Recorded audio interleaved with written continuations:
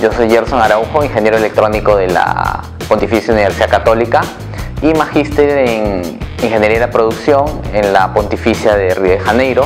Ahora he sido seleccionado por Ciencia Activa para estudiar una maestría en la Escuela de Negocios de Toulouse en temas aeroespaciales.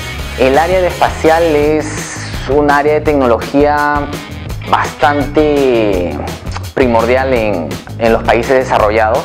Es un área que genera utilidades este, multidisciplinarias. Está el área forestal o las industrias extractivas como son la minería y la parte de energía, ¿no? porque muchas veces el tema hidroeléctrico se basa en estudios geográficos que tomando en cuenta este satélite que es de observación tiene una gran utilidad en ese aspecto. Voy invitar a todos los estudiantes peruanos que deseen tener una experiencia de investigación en países de primer mundo, eh, a, participar de las convocatorias de ciencia activa y de los diversos programas de diferentes instituciones de gobierno y de las universidades también.